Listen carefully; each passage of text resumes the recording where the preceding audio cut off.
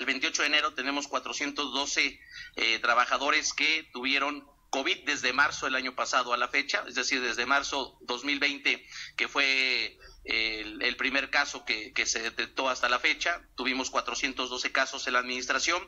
De estos casos, 30 compañeras o compañeros desafortunadamente fallecieron en estos eh, casi 12 meses. Eh, de los trabajadores que actualmente tenemos registrados que han dado positivos son 160 casos.